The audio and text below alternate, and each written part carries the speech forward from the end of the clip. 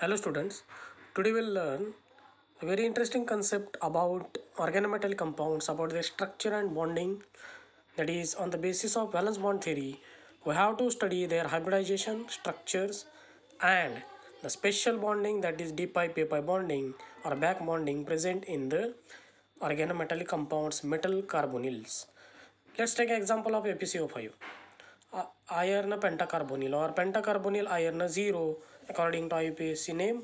Eta 5 is the hapticity so here Fe has atomic number 26 according to valence bond theory its uh, valence configuration is 3d6 4s2 4p0 at a ground state it consists of 6d electrons 2 s electrons and 0 p electrons.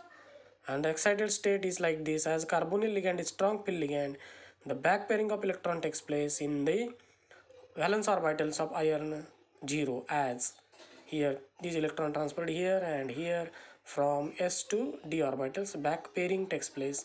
One d orbital makes free for hybridization. So hybridization is dsp3 so here five carbonyl ligands combines with hybridized Fe0 and forms FeCO5 organometallic metal carbonyl. So it has a TBP structure, trigon trigonal bipyramidal structure. Bond angles are 120 and 90 degree. So here all these bonds are not the covalent or coordinate type, but it is the partial covalent coordinate bond like d pi, p pi. Back bonding is observed between carbonyl ligand and iron 0. So in this way, VBT explains the hybridization, DSP3, TBP geometry, the bond angles 120 and 90 degree and back bonding d pi, p pi present in the metal carbonyl. Let's take another example of chromium CO6 means hexacarbonyl chromium 0. So here chromium has atomic number.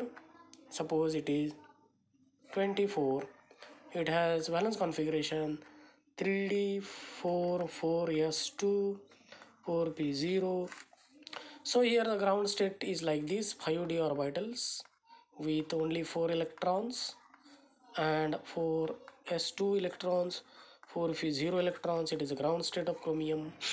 So as the carbonyl ligands comes for the bonding in the hybridization what happens? The back pairing again takes place.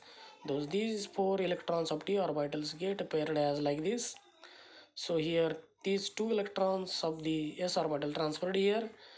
And in this way we get the excited state of the chromium atomic number 24 as the 3d6 paired and these d2 orbitals and sp orbitals are made free for hybridization d2 sp3 so in this way inner d orbital hybridization takes place for chromium hexa carbonyl metal carbonyl organometallic compound.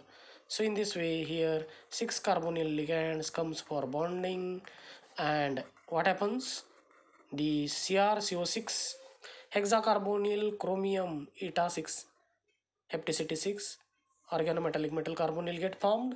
It has a structure like this. Cr co6 four carbonyl planar ligands one top ligand and another bottom ligand. Below the plane or above the plane. So it is the hybridization due to sp3 all the bond angles are 90 degree. It is inner orbital complex. Inner orbital d orbital complex.